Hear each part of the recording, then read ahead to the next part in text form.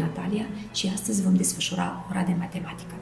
La matematică vom avea subiectul probleme cu două operații.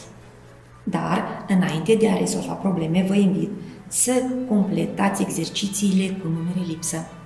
Ne readucem aminte cum aflăm un termen necunoscut. Aveți perfectă dreptate. Prin scădere, din sumă, scădem termenul cunoscut. Deci, să verificăm. Suma numerelor 56 și 4 este 60. Dacă mărim numărul 46 cu 14, obținem 60. Suma numerelor 36 și 24 este 60. Mărim numărul 72 cu 8. Primul termen este 52, al doilea este 28. Primul termen este 32, al doilea este 48 și am obținut suma 80. Bravo! Suntem atenți la cea de-a treia coloniță. Suma numerelor 91 și 9. Obținem 100.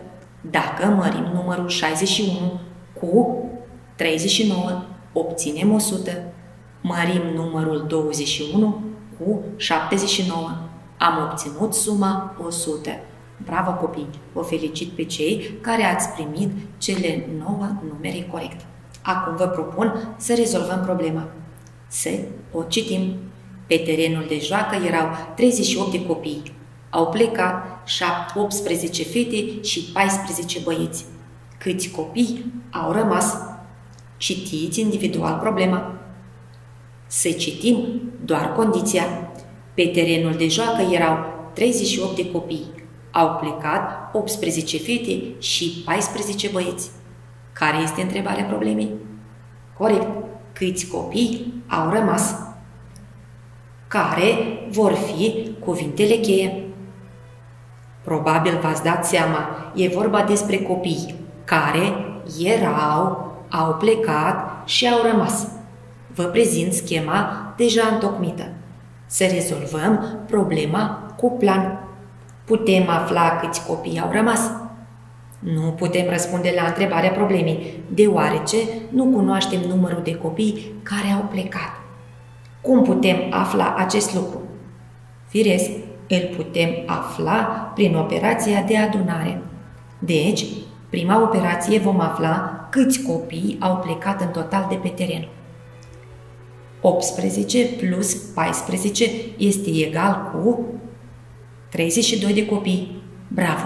Dacă cunoaștem că erau 38 de copii și am aflat prin prima operație că au plecat 32, putem răspunde la întrebarea problemei? Da, copii, prin cea de-a doua operație vom afla câți copii au rămas. Din 38 de copii, numărul câți erau la început, scădem 32 câți copii au plecat și vom obține corect șase copii. Răspuns. Pe teren au rămas șase copii. În continuare, vă propun să rezolvăm aceeași problemă, dar printr-o altă metodă. Vă imaginați că de pe terenul de joacă ar fi plecat la început 18 fete, apoi 14 băieți cum vom rezolva atunci această problemă? Să vedem, știind că din 38 de copii au plecat 18 fete. Ce putem afla? Corect, copii. Vom afla câți copii au rămas pe teren după ce au plecat 18 fete. Și care va fi operația de rezolvare? Adevărat. 38 minus 18 egal 20 de copii. Corect. Acum, dacă știu că pe terenul de joacă au rămas 20 de copii și au plecat acasă 14 băieți, ce pot afla? Corect. Câți copii au rămas după ce au plecat 14 băieți? 20 minus 14 este egal cu 6 copii. Am obținut același răspuns. Adevărat, am obținut același răspuns și îl scrim. Pe teren au rămas șase copii. Bravo copii! Sper că ați înțeles cum se rezolvă astfel de probleme. În continuare, vă propun să rezolvăm următoarea problemă. Creați o problemă asemănătoare cu cea precedentă în baza schemei și imaginei alăturate. Sper că v-a reușit. Să citim și problema creată de mine. Pe un copac erau 59 de păsări. Dintre acestea au zburat în căutare de hrană 16 vrăbiuțe și 13 porumbei. Câte păsări au rămas? Citiți doar condiția. Pe un copac erau 59 de păsări. Dintre acestea au zburat în căutare de hrană 16 vrăbiuțe și 13 porumbei. Deci, care este întrebarea problemei? Câte păsări au zburat? Vom încerca să rezolvăm această problemă printr-o metodă neobișnuită. Eu vă propun întrebările pentru plan, iar voi o selectați pe cea corectă. Cum credeți? Ce vom afla prin prima operație? Câte păsări au zburat sau câte păsări au rămas? Adevărat, câte păsări au zburat și cu care va fi operația de rezolvare? 59 minus 16 sau 16 plus 13. Adevărat, adunăm numărul 16 plus 13 este egal cu 29 de păsări au zburat. Știind că erau 59 de păsări, am aflat prin prima operație că au zburat 29. Ce putem afla prin următoarea operație? Câte păsări erau sau câte a zburat? Adevărat, câte păsări au zburat și care va fi operația de rezolvare? Corect, din numărul total de păsări 59, scădem câte păsări au zburat. 29 egal cu 30 păsări. Răspuns, pe copac au rămas 30 de păsări. Acum vom încerca să rezolvăm aceeași problemă printr-o altă metodă. Vă gândiți dacă ar fi plecat mai întâi vrăbiuțele, ce am putea afla? Corect, câte păsări au rămas după ce au zburat cele 16 vrăbiuțe. Operația de rezolvare va fi 59 minus 16 egal 43 de păsări au rămas. Acum au zburat porumbei. Ce putem afla? Câte păsări au rămas după ce au zburat 13 porumbei? Și operația de rezolvare a acestei probleme va fi 43 minus 13 egal cu 30 păsări. Am obținut același răspuns. Da, copii, de aceea îl fixăm la sfârșitul problemei. Răspuns. Pe copac au rămas 30 de păsări. Bravo, copii! Și pentru că sunteți foarte descurcăreți, au venit să vă ceară ajutorul furnicuța și melcul. Priviți cu atenție și aflați ce distanțe le-au rămas să parcurgă. Ei vă roagă să-i ajutați. Am decis să vă ajut și eu un pic. Acum ascultăm cu atenție. Mai jos, dacă observați, am scris câteva casete de rezolvare care presupun operațiilor acestor probleme. Din cei 37 de metri pe care trebuia să-i parcurgă furnica, ea a parcurs mai întâi 14 metri, apoi 9 metri. Câți metri i-au mai rămas să parcurgă? Ce vom afla prin prima operație? Corect. Câți metri a parcurs? Și care va fi operația de rezolvare? Corect.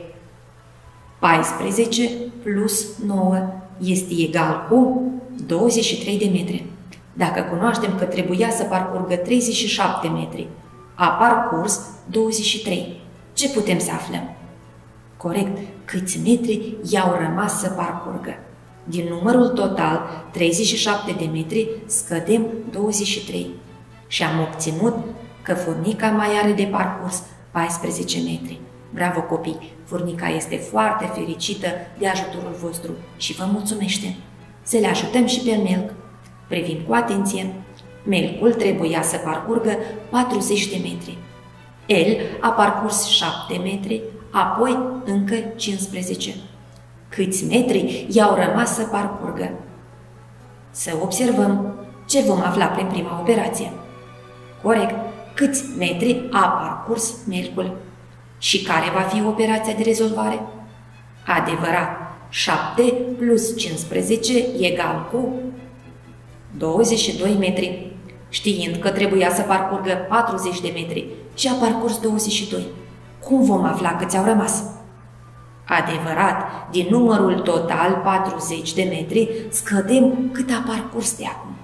40 minus 22 egal cu, corect, 18 metri. Sunteți bravo și Nelcul este foarte fericit că l-ați ajutat să afle distanța ce i-a rămas să parcurgă. Acum, pentru a continua în aceeași idee, vă rog să completați cu datele potrivite și să formulați întrebările pentru următoarele probleme. Să ne verificăm. Ascultați problema creată de mine.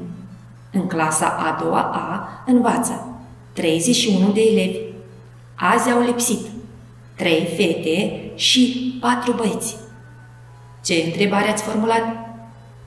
Câți copii sunt astăzi la școală? Citiți cu atenție cea de-a doua problemă. Completați cu numere potrivite. Eu am completat-o în felul următor. În clasa a doua B învață 9 fete și cu 7 mai mulți băieți. Câți elevi învață în clasa a doua B? Bravo! Sper că ați obținut și voi probleme asemănătoare. Iar pe final vă propun să completați șirurile de numere cu numere lipsă. Pentru aceasta, identificați regula de formare a fiecărui șir. Observăm cu atenție. Regula de formare a primului șir este plus 13. Numerele care lipsesc sunt 51, 64, 77. Regula de formare a celui de-al doilea șir este plus 14. Numerele care lipsesc sunt 42, 56. Regula de formare a celui de-al treilea șir este plus 12. Numerele lipsă sunt 24, 12, 0. Privim cu atenție la ultimul șir de numere. Regula de formare este minus 20. Primul număr va fi 100. Următorul număr lipsă 20 și 0. Bravo copii! Sper că ați obținut și voi aceste șiruri. Eu vă mulțumesc pentru lecția de astăzi, sper că ați obținut și voi aceleași rezultate și vă îndemn să rezolvați și alte probleme asemănătoare din manual. Pe curând, la revedere!